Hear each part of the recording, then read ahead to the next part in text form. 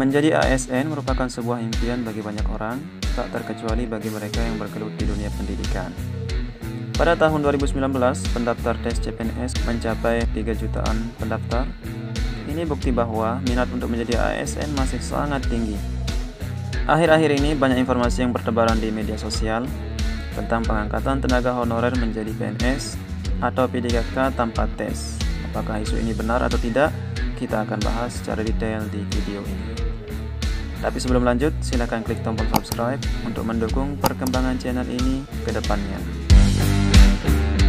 Hal yang menjadi momok mengerikan bagi tenaga honorer saat ini adalah tidak ada kepastian tentang masa depannya, walaupun mereka sudah mengabdi puluhan tahun.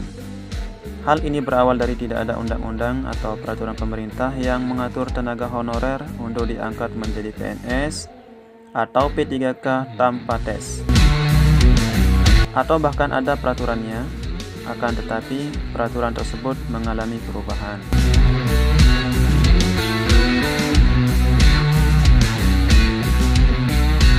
Sedikitnya ada tiga imbas dari tidak adanya peraturan yang jelas yaitu Pertama, masa depan tenaga honorer tidak jelas Yang kedua, gaji yang diterima tidak sesuai UMK atau UMR yang ketiga, selalu khawatir dengan batas usia dan yang terakhir adalah peraturan pemerintah yang tidak memberikan izin kepada instansi untuk mengangkat tenaga honorer lagi.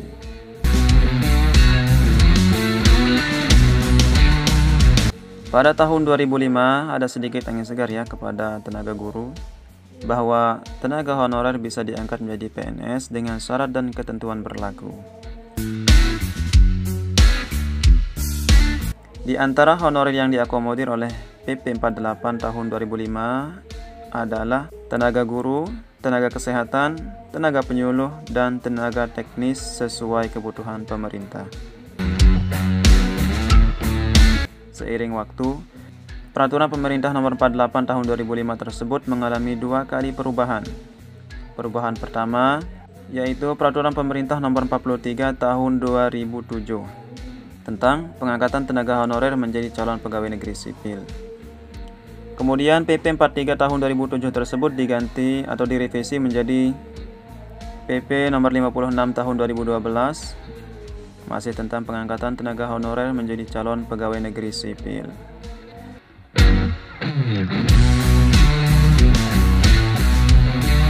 Sebenarnya, walaupun ada dua kali perubahan, tapi intinya tetap sama, bahwa Instansi pemerintahan tidak boleh mengangkat tenaga honorer dan tenaga honorer yang diangkat menjadi PNS harus melalui seleksi administrasi, verifikasi, dan validasi.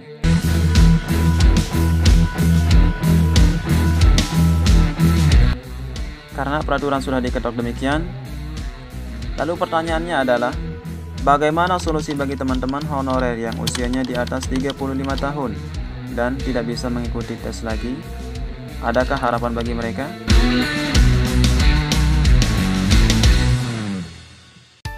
Berdasarkan kajian dan pertimbangan yang matang, bahwa pemerintah khususnya Kementerian Pendidikan dan Kebudayaan mengeluarkan kebijakan baru yaitu honorer bisa menjadi ASN melalui mekanisme seleksi PPPK atau P3K. Hal ini diatur dalam Peraturan Pemerintah Nomor 49 Tahun 2018 tentang manajemen pegawai pemerintah dengan perjanjian kerja atau PPPK. Di antara intisari dari peraturan pemerintah tahun 2018 tersebut adalah pelamar minimal berusia 20 tahun dan maksimal 59 tahun. Siapkah Anda bersaing dengan yang lebih muda? Tentunya harus siap dong. Kesimpulannya adalah tidak ada cara lain untuk menjadi ASN kecuali yang pertama menjadi PNS atau P3K.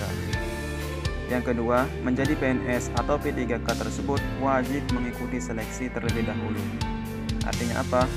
Artinya adalah pengangkatan PNS atau P3K tanpa tes adalah tidak ada dasar hukumnya, baik di peraturan pemerintah atau keputusan presiden, instruksi presiden, apalagi di undang-undang. Masih belum ada dasar hukumnya.